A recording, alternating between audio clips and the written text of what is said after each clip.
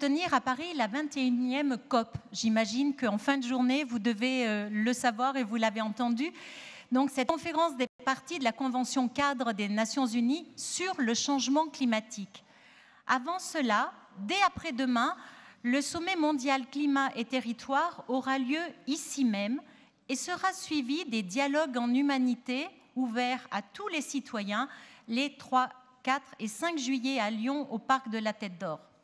À l'occasion de toutes ces rencontres et tant de réflexions, osons une citoyenneté de la Terre et osons replacer l'économie et la politique, la monnaie et le pouvoir au rang de moyens et non pas de fins.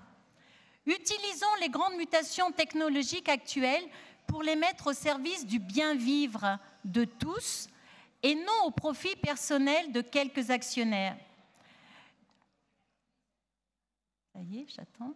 Allez-y, Madame Agier. Oui. Non, mais j'entendais beaucoup de bruit, alors euh, voilà. allez-y, continuez. Merci. De l'avis même du pape François, que je ne pensais pas un jour citer ici, un changement éthique et économique est nécessaire de toute urgence afin d'éviter un changement climatique catastrophique et des inégalités croissantes. Alors, changeons de logiciel et commençons par voter ce vœu. Pour réduire nos émissions de gaz à effet de serre, il faut limiter au maximum les énergies fossiles.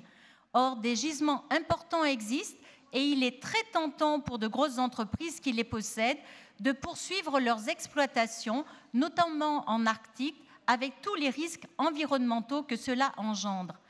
Ces gis- gisements représentent cinq fois le montant d'émissions de gaz à effet de serre à ne pas dépasser pour contenir le réchauffement en deçà des 2 degrés d'ici 2100. 200 entreprises principales sont recensées dans ce secteur des énergies fossiles. Elles devraient être contraintes à réorienter leurs bénéfices réellement vers les énergies renouvelables et à ne pas se contenter juste d'un petit coup de peinture verte par-ci ou par-là. Une initiative internationale a été lancée, Désinvestissons les énergies fossiles. Déjà plus de 230 villes, dont Paris, des universités, des musées et institutions, se sont engagées dans cette démarche et ont retiré leur placement dans le capital ou les produits financiers de ces 200 entreprises. La France, qui va accueillir la COP21, n'est pas à la pointe de ce mouvement, mais peut le renforcer en réorientant par exemple les 34 millions d'euros du Fonds de réserve pour les retraites, ainsi que la Banque publique d'investissement et la Caisse de consignation. Nous, élus régionaux, pourrions par exemple agir auprès de nos caisses de retraite par capitalisation. Le Conseil régional peut légitimement demander à ce que les cotisations de ses élus et de ses agents soient placées sur des actifs n'aggravant pas le réchauffement climatique.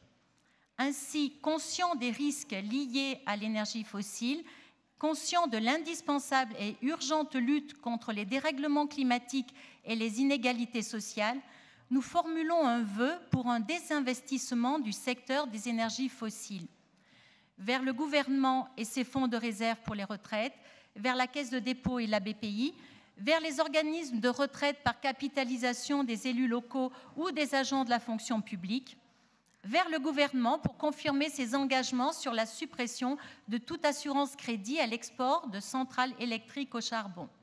Le Conseil régional facilitera et aidera à faire connaître toutes les initiatives en ce sens. Merci. Merci, Madame Agier. Monsieur Benoît Leclerc. Oui, merci Madame la Présidente. Euh, il me semble que compte tenu des débats que l'on a eus